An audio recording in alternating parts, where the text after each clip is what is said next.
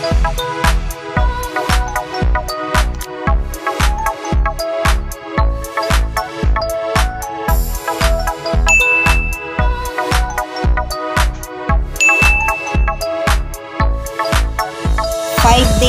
pa lang po silang nakatanim pero kitang-kita na po yung growth ng ating mga variegated gymnocalcium and then LB. So ito guys yung ating mga maliliit na cactus galing po sa ating seller na si Ching Yancy. So ayan na sila guys. Hello everyone, ito po si Charching ng Succulent Davao and welcome sa ating YouTube channel. And for today's video, so pag-usapan natin guys yung uh, mga pangangailangan ng ating mga cactus para lumaki po silang healthy at uh, at para maiwasan nating mamatayan ng mga cactus. So ano-ano ba yung mga requirements na kailangan ng ating mga cactus? So yan po yung i-share ko sa inyo ngayon guys. So number one po na requirement ay kailangan po nila ng sunlight. So uh, bigyan po natin yung ating mga halaman ng kahit konting full sun. So, importante po yan sa ating mga cactus and lalo na po sa ating mga variegated gymnocalcium. So, yung mga ano halaman ko guys ay nakalagay naman po sila dito sa medyo shaded lang po na area. So, ang tanong po ay um, makakasurvive po ba yung ating mga halaman kahit hindi direct sunlight yung kanilang nakukuha? And then, ano po ba talaga yung tamang sun requirement para dito sa ating mga uh, vari variegated gymnocalcium and then LB. So, ano po ba yung mas maganda para sa kanila, morning sun o afternoon sun? At masama po ba para sa kanila yung sobrang init? So, yan po guys, uh, na mga katanungan ay sasagutin natin isa-isa para ma-share ko po sa inyo kung paano ko uh, naalagaan itong ating mga variegated gymnocalcium and then LB dito sa ating munting harden. So first ito na po guys yung update sa ating mga cactus. Galing po sa ating seller na si Ching Yancy. So ayan, kitang-kita na po yung uh, pattern. Kahit uh, maliliit pa sila ay kitang-kita na po yung pattern ng ating mga cactus. So, yung ating mga halaman guys ay, ayan, napans napansin nyo po ay basang-basa pa po yung kaniyang soil kasi yung ating uh, toppings ay, ayan, medyo dark pa.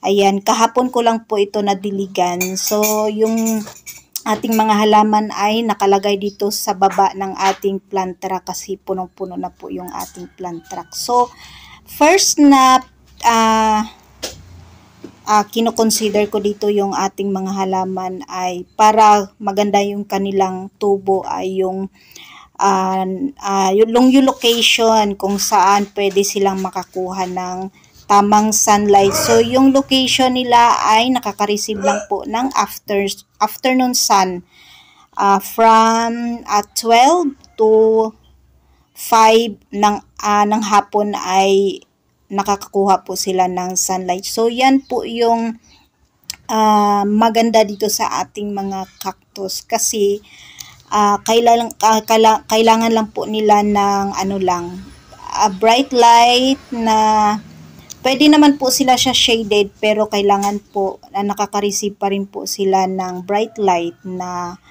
uh, at least uh, 10 to 14 hours. So, dito ay na, nakakakuha lang po sila ng uh, less than 6 hours. Pero yung init naman po dito guys, afternoon sun ay uh, intense na.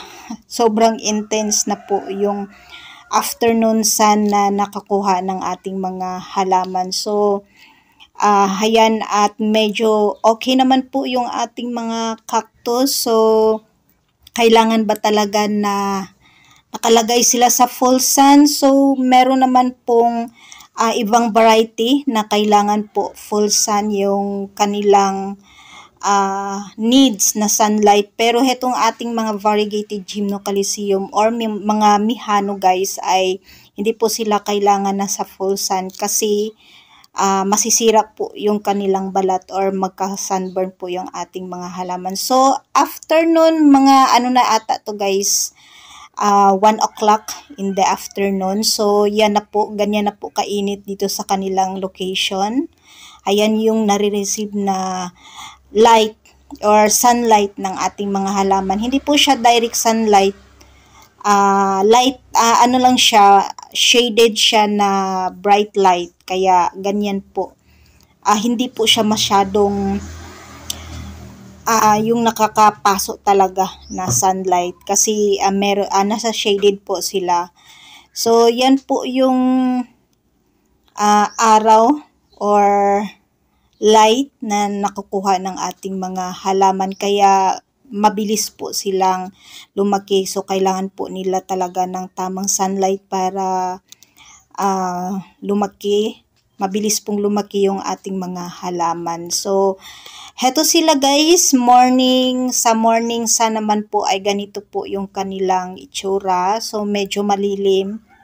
So heto po yung kanilang location. Nakalagay po sa plant track yung iba nating uh, halaman. So, three layers po yung ating plant track and then yung ating maliliit na mga mga variegated gymno and LBI nasa baba na po nakalagay. So, ganyan po. Shaded po sila dito. So, secure na secure po yung ating mga halaman pag maulan and then dyan po yung uh, sinag ng araw. So, uh, simula dyan sa may ano, sleepers, ayan. So, ganito po sila, yan. Sa may gate, so dyan po nagsisimula yung sinag ng araw. And then, uh, dyan po sa may sleepers, dyan po ay afternoon sun na po yung nare-receive dyan na area. And then, uh, kalaunan ay mga ano na, uh, 1 o'clock, 2 o'clock in the afternoon. So, uh, dyan na po pupunta yung yung sinag ng araw. So, sinag lang po yung nare-receive nila guys. So, hindi po sila direct sunlight. So, okay naman po sila. And then medyo mahaba-haba. And then medyo intense na po yung yung uh, sun dito na area. Kasi medyo ano na po tayo ngayon. Mainit na po yung panahon. So ngayon naman po ay medyo makulimlim. So yan lang po yung nakukuha na sunlight ng ating mga cactus pero afternoon sun sobrang init so nakakasama pa rin po siya sa ating mga cactus. Maganda po talaga pag morning sun. So, morning sun from 6 to 11 ay maganda po sa ating mga halaman. From uh, 11 to 1 o'clock ay sobrang init na po guys. So, hindi na po siya tama sa ating mga mga cactus. So, kailangan po ay meron po silang protection. Kung meron po tayong mga greenhouse. So, okay po yan. Uh, pwede po natin silang ilagay sa direct sunlight. Pero, dahil wala po tayong greenhouse, ay medyo shaded naman po. Shaded po yung ating area ay okay lang po. And then, nakaka-receive naman po sila ng afternoon sun. So, ano po yung epekto pag nakakuha sila ng sobrang sunlight. So, heto guys, mayroon akong ipapakita sa inyo. Uh, meron pong mga ano lang, uh, ibang variety na hindi nila gusto yung sobrang init. So, heto guys, at ano naman po sila, tabi-tabi, and then, uh, yung iba naman po ay hindi po na, ano, talaga. Heto guys, yung example na ayaw niya ng sobrang init. Afternoon sun, ayaw na ayaw niya siguro.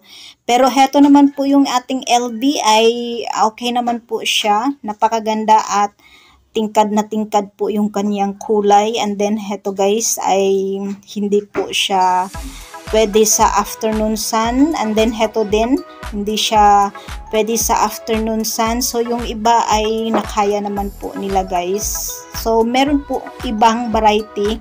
Ayan din meron ding sa dulo na yan meron ding ayaw niya ng ano sobrang init. So ganyan po yung itsura ng ating mga cactus pag nasubrahan po sila ng araw so kailangan i-ano natin sila uh, ilipat ng ibang location kung saan medyo shaded eh, hindi po sila makakuha ng sobrang sunlight. So, yung iba ay okay naman po. And then, dito naman po guys na na area ay gustong gusto po ng ating mga LB. So, okay naman po sila dito. So, dyan ko naman, dyan, dyan ko na lang sila ilalagay. Stay na lang po sila dyan. So, hayan guys, yung update sa ating mga uh, maliliit na LB na hayan, 5 uh, ah, days pa lang po sila ay kitang-kita na po yung growth ng ating mga halaman. So, successful po yung ating